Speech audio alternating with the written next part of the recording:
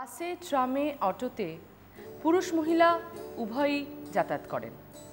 কিন্তু কিছু মানুষ আছেন, পুরুষ মানুষ, যারা এই ঘেঁষাঘেঁষির অশুভ সুযোগ নেন।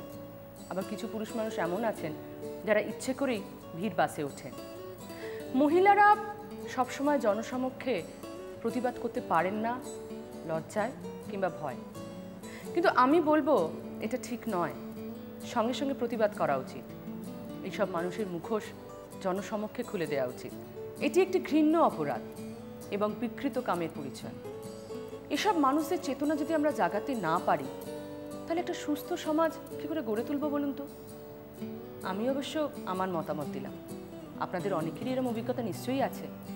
এরম ধরনের ঘৃণ্য অপরাধ, জঘন্য সামাজিক অপরাধকে আমরা কি করে রুখব? আমাদের চু লিখে জানান। নমস্কার। নারীর পাঁচ মিশন নিয়ে আমি সেটা আবার হাজির।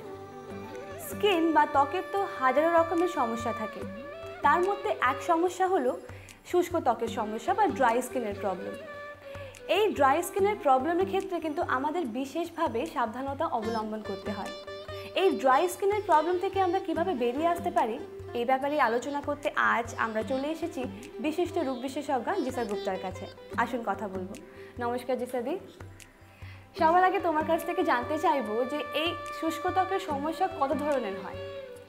দেখো শুষ্ক ত্বকের সমস্যা প্রথম তো দু রকম হতে পারে। একটা বয়সে যেটা হচ্ছে আরেকটা প্রথম থেকেই ড্রাই আমাদের স্কিনের লেয়ারের তলায় অয়েল গ্ল্যান্ডস থাকে। সেই অয়েল গ্ল্যান্ডস থেকে অয়েল সিক্রেশনটা প্রত্যেকের আলাদা আলাদা রকম হয়। যার প্রয়োজনের তুলনায় অয়েল সিক্রেশন কম হয় মানে যতটা প্রয়োজন শরীরে তার থেকে কম হচ্ছে। তার স্কিনটা ড্রাই থাকে। তো এটা কিন্তু ছোট বয়সেও হতে পারে ড্রাই স্কিন একেবারে দেখবে স্কেলিং হয়, হাতের চামড়া খসখসে, গায়ের চামড়া খসখসে, সেটা অল্প বয়সেও হয়। যেটা ডিউ টু এজিং হয়, যত এজ বাড়তে থাকে, ততই আমাদের এই সিবাসিয়াস গ্ল্যান্ডসের অ্যাক্টিভিটিটা কমে যেতে থাকে।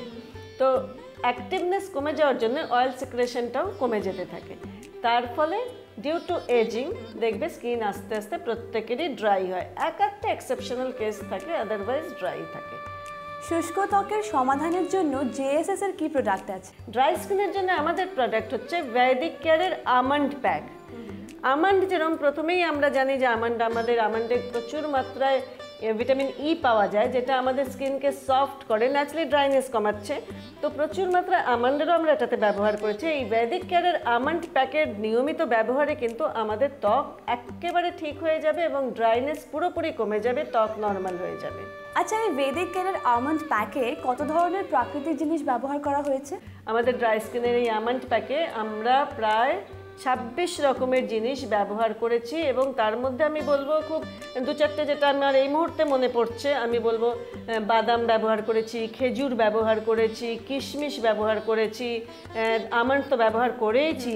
তার সাথে দেখো আমাদের ঘৃতকুমারী, যেটাকে আমরা অ্যালোভেরা বলে থাকি। ঘৃতকুমারীর কিন্তু আয়ুর্বেদিক নাম হচ্ছে তরুণী, অর্থাৎ সবসময় ইয়াং রাখবে স্কিনটাকে তো ঘৃতকুমারী অ্যালোভেরা এটা ইউজ করেছি। তো ন্যাচারাল এই ধরনের সব ন্যাচারাল জিনিসগুলোকে ইউজ করছি এবং কোনো কেমিক্যালের ব্যবহার করিনি। তাই আমন্ড প্যাক একেবারে স্কিনে পুরোপুরি কাজ দেখাতে পারবে এবং খুব অল্প সময়ের মধ্যে। আমন্ড প্যাক ব্যবহার করা কি খুব কঠিন জিনিসাদি নাকি সহজেই সম্ভব? না, কঠিন তো একেবারে হতেই পারে না। কঠিন হলে তো কেউ ব্যবহার করবে না। ইনফ্যাক্ট আমিও ব্যবহার করতে পারব না, এত বিজি থাকি বলে। তো সেই সব ভেবেই আমরা কিন্তু আমাদের প্রত্যেকটা প্রোডাক্টের ব্যবহার বিধি খুব সহজ রেখেছি। যেরকম আমাদের যেটা একটা ড্রাই স্কিনের অয়েল আছে, যে এস এস এর রিঙ্কলেস প্রথমেই সেটা মেখে ফেলতে হবে, কারণ এটা ড্রাই স্কিনের সমস্যা। প্রথমেই সেটা মেখে ফেলতে হবে জাস্ট দু তিন মিনিট হালকা হাতে ফিঙ্গার টিপস দিয়ে একটু ম্যাসাজ করে নিয়ে মিনিট দশেক ছেড়ে দিতে হবে স্কিনটা স্কিনে এই তেলটা। তারপরে আমন্ড প্যাক যদি বাড়িতে কোনো ফল থাকে যেটা স্যুট করে তার সাথে মেশাতে হবে কিংবা একটু দই চিনির সাথে নইলে সরাসরি জলের সাথেও মেশাতে পারি। মিশিয়ে পুরো মুখে যখনই তেল বা আমন্ড প্যাক মাখবো চোখের ওপর টোপর কিচ্ছু বাদ দেবো না পুরো মুখে চোখের ওপরে ঠোঁটের ওপরে মেখে ফেলব। এবার যখন এটা ড্রাই হয়ে যাবে হাত ভিজিয়ে প্যাকটাকে ভিজিয়ে নিয়ে আস্তে আস্তে স্ক্রাব আপ করে মুখটা ধুয়ে ফেলব। এভাবে যদি নিয়মিত কেউ ভেদিক কেয়ারের আমন্ড প্যাক নিয়ে স্কিনের যত্ন করে ড্রাই স্কিনের তাহলে দেখবে স্কিনের ড্রাইনেস একেবারে চলে গেছে এবং স্কিন ভীষণ ইউথফুল হয়ে গেছে। খুব ইয়াং মনে হচ্ছে স্কিনটা। আচ্ছা জিসাদি অনেক ক্ষেত্রে আমরা দেখি যে আমাদের মুখের স্কিন ড্রাই কিন্তু তার সঙ্গে আমাদের শরীরের অন্যান্য অংশও কিন্তু ড্রাই তখনও কি আমরা এই আমন্ড প্যাকই ব্যবহার করতে পারব? এখানে একটা কথা বলব মুখের স্কিনটা স্কিন গায়ের স্কিনটাও স্কিন স্কিনের যে কোনো প্রোডাক্ট কিন্তু মুখে ও গায়ে যদি আমাদের হাত ড্রাই থাকে পা ড্রাই থাকে। বহু সময় বাচ্চাদের ছোটবেলা থেকে স্কিন খুব ড্রাই থাকে। তো যেহেতু এগুলো কেমিক্যাল ফ্রি তাদের যদি সপ্তাহে রিঙ্কলেসটা তো আমরা যেরকম বলি মাখতেই ন্যাচারাল অয়েল একেবারে, তাদের যদি প্রত্যেকদিন রিঙ্কলেস মাখানো হয় আর আমন্ড প্যাক সপ্তাহে দুদিন মাখানো হয়, বাচ্চাদের ড্রাইনেসও চলে যাবে স্কিনের একেবারে, আর স্কিন খুব হেলদি হয়ে যাবে। আচ্ছা জিসাদি আমাদের দর্শকদের জন্য যদি তুমি তোমার টেলিফোন নাম্বারটা বলে দাও খুব ভালো হবে। হ্যাঁ নিশ্চয়ই। আমাকে যোগাযোগ করতে হলে আপনাদের কন্ট্যাক্ট করতে হবে two four two three six zero seven zero two four two three six zero eight zero এবং two four six five seven six two eight এই নম্বরে। অনেক অনেক ধন্যবাদ জিসাদি। তাহলে যাদের স্কিন শুষ্ক তাদের বলব আপনারা ড্রাই স্কিনের যত্ন কীভাবে নেবেন জেনেই আছেন তো? তাই তো বলি, নারী দেখতে থাকুন, সঙ্গে আপনাদের সবসময় আমরা আছি। আজ এখানেই আসব, নমস্কার।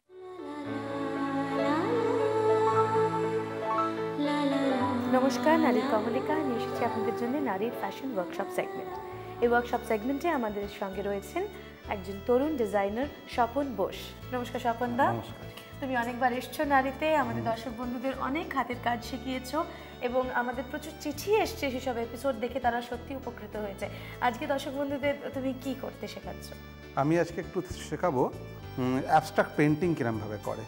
আচ্ছা মানে- অ্যাবস্ট্রাক্ট পেইন্টিংটা আমরা আহ, মানে কিসের উপর করতে পারি? কুশনের জন্য করতে পারি ওয়াল হ্যাঙ্গিং এর জন্য হ্যাঁ, করতে হ্যাঁ, পারি। হ্যাঁ, তাহলে রেডি হয়ে যান খাতা পেন নিয়ে লিখে ফেলুন কি করে করবে প্রথমে আমি একটা একটা ফ্রেম নেব। ফ্রেমের মধ্যে কাপড়টাকে আটকে নেব।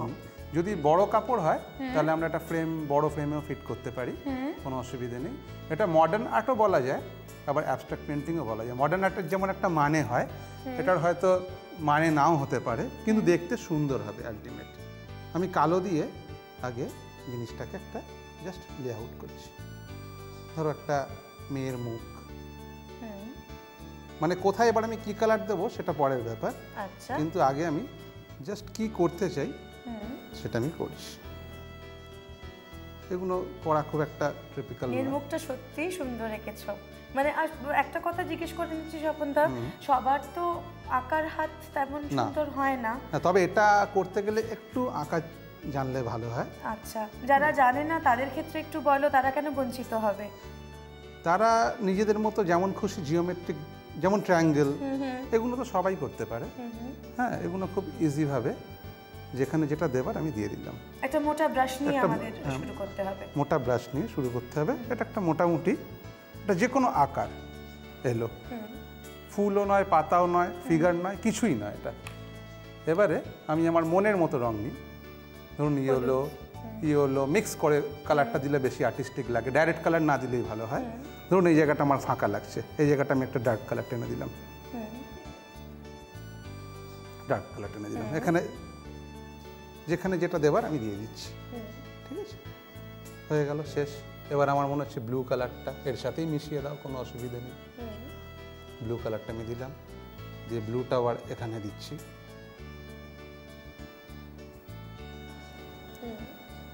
ব্রাশটা ধুয়ে ফেললাম। এবার নিলাম রেড রেডটা নিয়ে হঠাৎ করে এখানে একটা বিগ করে গোল করে দিলাম। গোল করে দিলাম একটা। করে এখান যেরকম একটা কিছু ঠোঁটটাকে একটু লাল করলাম মাথায় একটা টিপ পরিয়ে দিলাম। বিউটিফুল বিউটিফুল খুব সুন্দর। এরমভাবে করছি। এবার তুমি ডিরেক্ট ইয়েলো নিয়ে একটু দাও। এবার ডিরেক্ট ইয়েলো নিয়ে আমি ধরুন মেয়েটার মুখের মধ্যে একটা লাইন টেনে দিলাম। জাস্ট এটা কিছুই না দেখতে ভালো লাগবে। অথচ মনে হবে যেন অনেক কিছু মিনিং আছে হয়তো নেই। সেটাই সেটাই একটা সেটাই সব কালারই আমি ইউজ করছি দেখুন একটা গ্রিন দিলাম গ্রিনটাও দিয়ে দিলাম। এবারে ডাইরেক্ট হোয়াইট কালার নিয়ে কিছু কিছু জায়গা ধরুন চোখটায় এই জায়গাটা একটু স্ট্রোক দিয়ে দিলাম। ধরুন এই জায়গাটা কালারগুলো চেঞ্জ হয়েছে এই জায়গায় দেখুন। এবার ডিরেক্ট গ্রিন দাও একটু। গ্রিন কিছুই না। কিছুই না অথচ অনেক কিছু। এবার দেখুন ব্যাপারটা। অন্য মানে কিন্তু ফুটে উঠেছে অ্যাবস্ট্রাক্ট পেইন্টিং এর। এটা যে কোনো জায়গায় করা যেতে পারে যেমন ধরুন একটা টপ পুরনো হয়ে গেছে আপনি একটা এই জায়গাটা করে ফেললেন। আবার টপটার একটা নতুনত্ব চলে এলো আবার পড়তে ইচ্ছে হবে। হ্যাঁ একটা কুশন কাভারও করতে পারি আমরা ওয়াল হ্যাঙ্গিং করতে পারি নিজের মনের মতো সাজিয়ে করতে পারি। অনেক অনেক ধন্যবাদ তোমাকে স্বপন দা এত সুন্দর একটা জিনিস আমাকে শেখালে দর্শকদের শেখালে নিশ্চয়ই তোমাকে আমাদের মাঝে আবার পাবো। নিশ্চয়ই আজকের এই ওয়ার্কশপ সেগমেন্ট আপনাদের কেমন লাগল আমাকে লিখে জানান। তার সঙ্গে বলি আপনাদের হাতের কাজ অনেক পড়ে থাকে বাড়িতে সেগুলো জড়ো করুন আমাদের কাছে স্যাম্পল হিসেবে পাঠিয়ে দিন। সবার স্যাম্পলের মধ্যে থেকে সেরা স্যাম্পলকে পুরস্কৃত করব। এবং আহ্বান জানাব এখানে এসে আমাদের সঙ্গে পার্টিসিপেট করা আর দেরি নয়, চিঠি পাঠান স্যাম্পল পাঠান। নমস্কার, আমি কাঞ্চনা, আপনাদের বিকেলের বন্ধু, সন্ধ্যের সঙ্গী, নারী রান্নাঘর নিয়ে আবার হাজির হয়েছি আর সঙ্গে যে অতিথিকে নিয়ে এসেছি মানে আজকে আমাদের সেলিব্রিটি গেস্ট তিনি একবার এসছেন। কিন্তু তার আজকের আসা আর আগের আসার মধ্যে একটা বিরাট পার্থক্য ঘটে গেছে। তিনি এখন বিবাহিত। মানে আহত হয়েছিস না? মানে একদম একদম ঠিকঠাক আছিস। না, ওই- সবাই বলছে তোর গ্ল্যামার বেড়ে গেছে।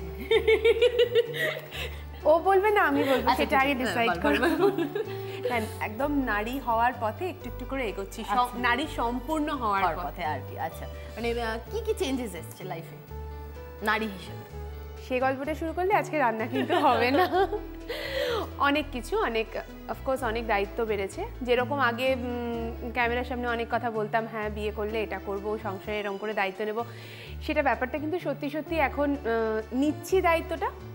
আই এম এনজয়িং ইট বাহ ভেরি গুড আচ্ছা আজকে যে রান্নাটা করবি তুই সেটা কি রান্না?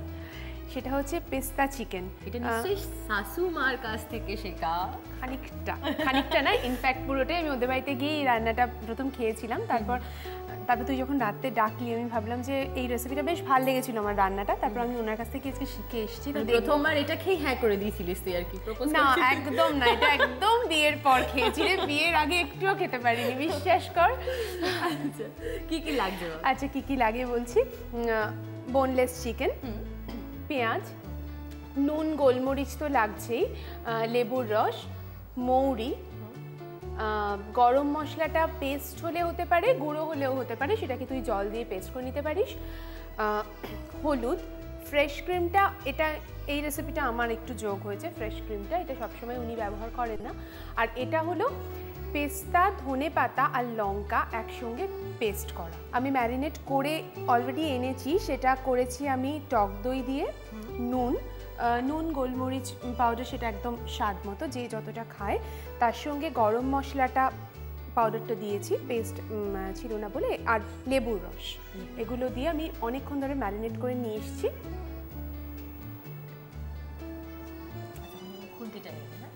কম তেলে হয় খুব একটা বেশি তেল ওই জন্য আমি দিলাম না। আচ্ছা। করে হ্যাঁ? জল থাকে।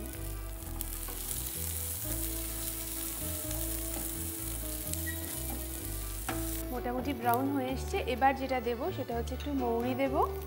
এর মধ্যে? হ্যাঁ। প্রথমে দিলি না তাহলে? না মানে প্রথমে না একটু ভেজে নেওয়ার পর তারপরে একটু হলুদ দেব।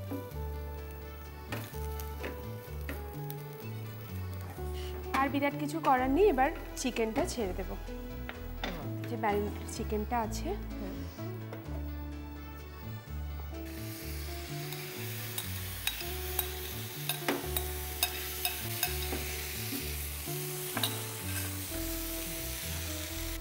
এটাকে চাপা দিয়ে রেখে দিই।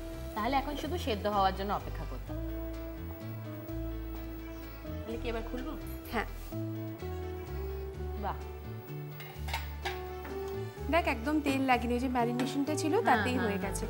এরপরে আমি ধনে পাতা পেস্তা আর কাঁচা লঙ্কা। কাঁচা লঙ্কাটা যতটা তুই ঝাল খাবি ঠিক সেরকম হ্যাঁ, দিবি আর কি। সেই পেস্টটা আমি পুরো দিয়ে দিলাম। আর ন্যাচারালি যত ধনে পাতা আর পেস্তাটা ফ্রেশ হবে তত ভালো হবে। এটা তো আর বলার কিছু নেই। এটা শীতকালে স্পেশালি খুব ভালো হয় বিকজ তখন অনেক ফ্রেশ ধনে পাতা পাওয়া যায়। হ্যাঁ। এবার নাড়তে থাক। হয়ে গেছে আমি কি সার্ভ করব? না আর একটু নেড়ে নিই আমি। এরপরে ভালো করে নেড়ে নেওয়ার পরে অনেকে আবার পাতে মাংসের সাথে টমেটোটা খেতে খুব পছন্দ করে। তো সেজন্য তুই আমি যেটা করেছি এখানে টমেটোটা তুই এমনি গার্নিশ করার জন্য মানে গার্নিশিংয়ের জন্য উপরেও দিতে পারিস। সেটা না যদি দিতে চাস তাহলে এরকম করে তুই এটার মধ্যে উল্টে দিয়ে দিলি এটা প্রিপেয়ারও হয়ে গেল। হয়ে যাবার পর একটু নরম নরম যখন হয়ে যাবে তখন তুই সেটাকে নামিয়েও নিতে পারিস। আমি না এক সেকেন্ড একটু চাপা দিই তাহলে টমেটোটা হ্যাঁ একটু ভাপে সেদ্ধ হয়ে ভাপে সেদ্ধ হবে। কত কি শিখে গেছি দেখ। হ্যাঁ। নামিয়ে নিতে পারিস।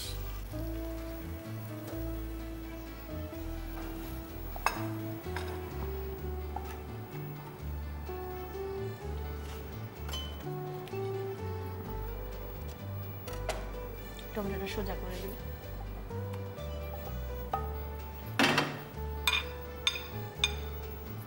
বাহ।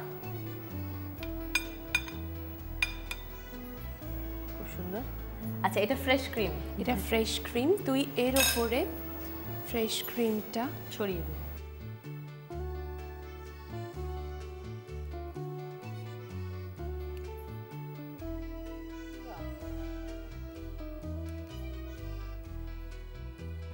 এমনি তুই না নাবাবার আগেও যদি কেউ পছন্দ করেন তাহলে না নাবাবার আগেও ক্রিমটা দিয়ে একটু নেড়ে দিতে পারেন তাতেও ভালো লাগে। আর যদি না হয় তাহলে যদি না ইচ্ছে করেন তাহলে এরকমভাবেও করতে পারেন।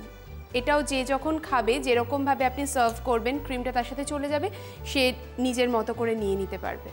পেস্তা চিকেন বোনলেস চিকেনে টক দই নুন গোলমরিচের গুঁড়ো গরম মশলা গুঁড়ো লেবুর রস দিয়ে দু ঘণ্টা ম্যারিনেট করে রাখুন। কাঁচা লঙ্কা ধনেপাতা পেস্তা একসাথে পেস্ট করে রাখুন। ফ্রাইং প্যানে সামান্য সাদা তেল দিন, তেল গরম হলে কুচনো পেঁয়াজ সোনালি করে ভেজে নিন।